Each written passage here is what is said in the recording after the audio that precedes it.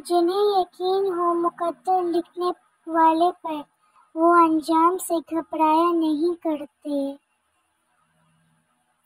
आजमाइश तो फिर मनपसंद चीज़ों से शुरू होती है।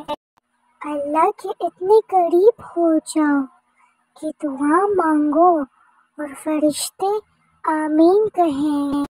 अजान को गौर से सुनने वाले कभी डिप्रेशन का शिकार नहीं होते।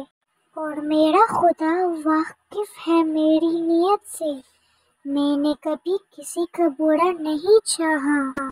कभी कभी अल्लाह हमारे वजूद को बचाने के लिए हमारा दिल तोड़ता है। मेरी तब से मेरे नसीब तक मेरा मामला मेरे अल्लाह से है। अल्लाह तो करीब ही होता है, बस हम ही दूर चले जाते हैं। दूसरों के दर्द मिटाने वाले बन जाओ, अल्लाह ताला तुम्हारे दर्द मिटा देगा। सबर का दामन नहीं छोड़ना, वक्त बदलेगा, हालत बदलेंगे तो आए कबूल होंगी। बेजुबान ना समझ किसी की खामोशी को शोर करता नहीं, कभी गहरा पानी। नसीब का लिखा मिलकर रहता है, कब, कहाँ, कैसे, ये सब मेरा रब जानता है।